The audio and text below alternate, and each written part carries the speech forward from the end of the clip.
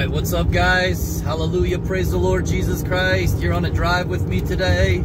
It's a bumpy road we on. And um, I just wanted to speak on a few things real quick. I pray you uh, guys are blessed. And I want to talk a little bit about um, uh, some stuff the Lord has been sharing with me. Okay. First and foremost, I'm not going to apologize for my last video about the flat earth.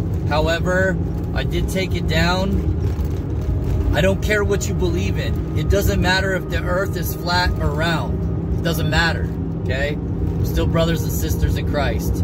All I was trying to do is just share something that I got. And um, it's just sad that we can't have a spiritually mature conversation without people arguing and name calling and all this crazy stuff, man. It's just totally uncalled for and not fruit of the Lord. So, anyways, I took it down, did not cause a whole bunch of people to stumble. I had to shut the comments down. Again, it doesn't matter if the earth is flat or round, okay? If you believe Jesus Christ is Lord, then you're my brother, you're my sister. If you pick up your cross daily and follow after Him, then amen, okay? So, moving forward, let's move on. Um, and I'll just be more careful in the future about not handling certain spiritually mature topics that like 30% of the body of Christ on YouTube can seem to handle. Uh, next. Okay, check this out. A lot of you guys have vices, right? A lot of you guys smoke cigarettes. Some of you guys smoke cigarettes. Some people struggle with anger, myself included. Um, I do struggle from time to time. We do a lot of driving. We're pretty much driving every day with our ministry. And man, there's a lot of bad drivers, and it brings out that, that anger in me sometimes. And I repent constantly, and God's was showing me that. And it's not just that though. Some of you guys like struggle with lust. Some of you guys struggle with still with uh, different types of uh, prescription medication or pharmakia, or hopefully not too much pharmakia, but pharmakia uh, a lot of people, a lot of God's people, and they're seeking the Lord. They love the Lord. They're totally like committed to the Lord Jesus Christ. And the Lord showed me this. I just seen it, man. Like all of His people, He allows those things to keep that speck in your eye, to keep you humble. All right, and and if you think that you're living totally holy and righteous, and that you're a sinless person, you're a liar. The Bible says it in First John. It says, if any man said that he have no sin, he's a liar, right? But we should not sin. It's not good to sin because it says in Hebrews 9, without holiness, no one will see God. So we need to strive. Now, here's something else on this topic, and I'm going to get to the point here. Jesus said, Be ye holy, for I am, or perfect, for I am perfect, right? In the English. We'll look that word up sometimes, guys, in the Aramaic and in the Greek. It means spiritually mature. Jesus Christ didn't say be perfect. He said be spiritually mature. We should never sin or give any ground to sin whatsoever. But about 90% of you, myself included, again, I from time to time get um anger and um I rebuke it and I cast it out. But God keeps those specks in our eyes to keep us humble.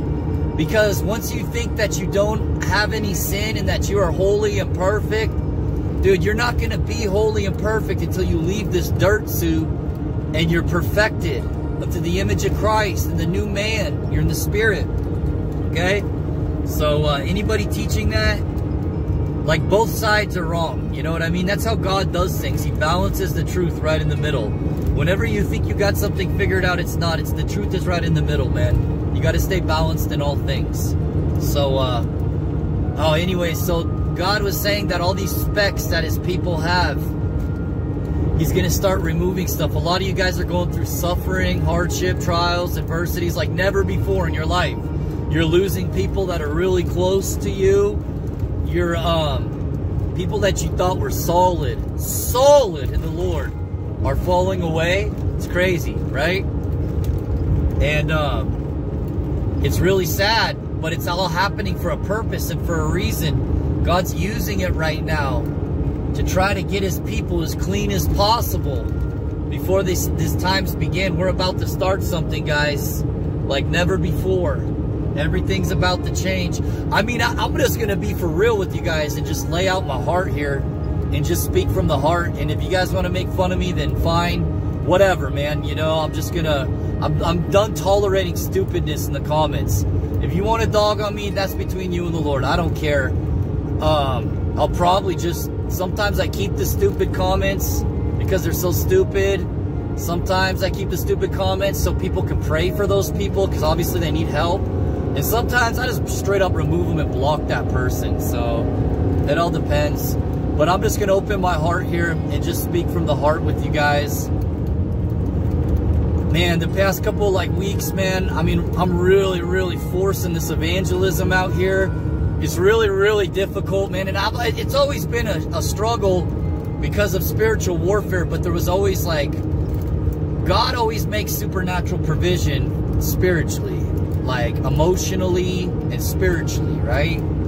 But these past couple days and like about a week and a half, two weeks, I have felt like no drive whatsoever to go out and evangelize. Like I used to love picking up a loudspeaker, just proclaiming the gospel. Like I, so a part of my soul felt fulfilled when I would do that for years, and that is gone now. And I and I'm praying about it, and I'm really praying, man. And I'm asking God, you know, God, please, what what's going on? And He's showing me, man, things are about to change, guys. Your comfort zones are about to come crashing down. Everything's gonna change. Okay? Like I don't even feel the desire to do that. Like I still talk to people about Jesus every day and I still give people tracks, and sometimes the anointing of God will come on me and sometimes, you know, it happens, but like, because it's going to be God's will no matter what. But I, I feel like the Spirit is like, get ready. He's like, it's like the Spirit of God is saying, like, get your house in order. Get ready now. Like, prepare yourself. Remember that guy, was that guy, David Dana Coverstones? He did a word like, uh, not last September, but the September before, where he was like, brace yourself, brace yourself, brace yourself. Remember that guy? I feel like right now is the time for that word. Like maybe God gave it to that guy and gave people more time. But I don't know, man. I don't want to start being like Dana Coverstone and being like, that's it. The clock's smashing. We're all, it's, it's over on this day and this time at this month. Because God hates it when people do that, man. Don't ever put a day or a time or a month or on anything. The Lord said in his word, he said, no man knoweth the day or the hour, not even the angels in heaven. But yet you're more mighty than the angels in heaven, and you know the precise time and location of the Lord's return, right? So anyways, I don't know, guys. My heart, it's not cold. It's not bitter. I feel like it's time to get prepared in the spirit, guys, because everything is about to change the urges and fulfillment in my spirit I used to have to go out and cast demons out of people and preach the gospel from the rooftops, like it fulfilled me in the spirit, man. I felt like I was fulfilling my purpose with the Lord in this life for what he saved me for this hour.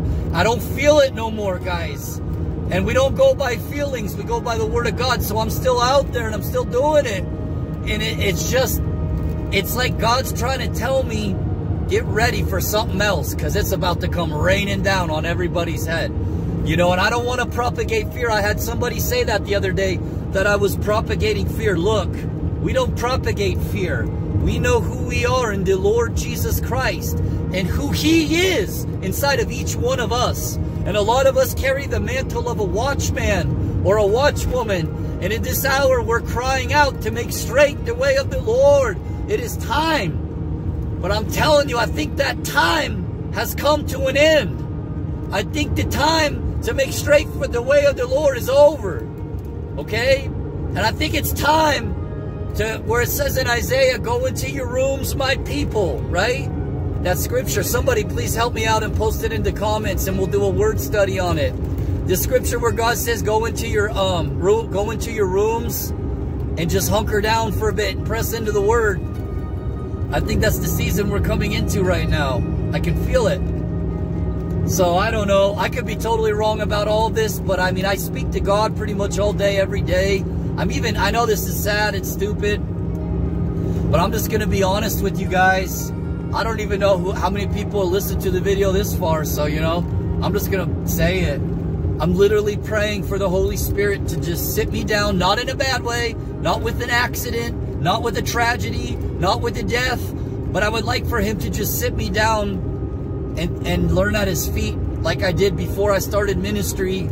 I used to spend hours in the presence of the Lord, just sitting before him and speaking with him. He would show me mysteries and revelations and I consumed the word of God and get filled with that holy word every day for hours on end.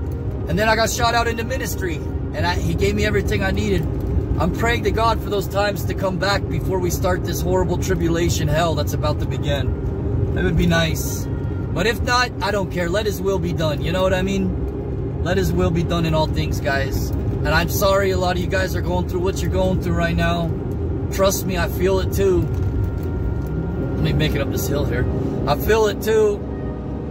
I know it's hard, man. We're all suffering a lot right now, but praise God because Paul says, that I may know him in the fellowship of his sufferings. If you're suffering, Christ is more near to you than ever. I went through a horrible divorce years ago, and um, I'm not going to talk bad or say anything wicked or, or bad about my ex-wife. It was a horrible, horrible situation, man. There was adultery involved, and it was just an awful, awful thing. And these people on YouTube were like make calling me out and making fun of me for it and blasting me videos and rebuking me in the middle of it.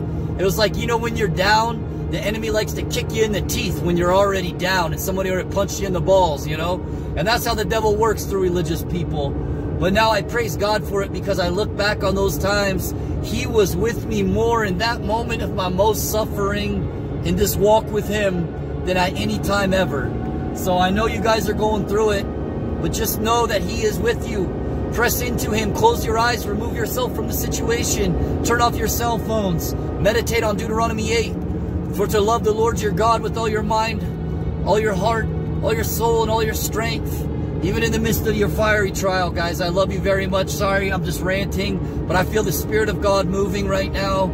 I feel the Spirit of God moving. Times are changing. Things are shifting. Doors are closing. Relationships are being removed. Cords of witchcraft are being cut.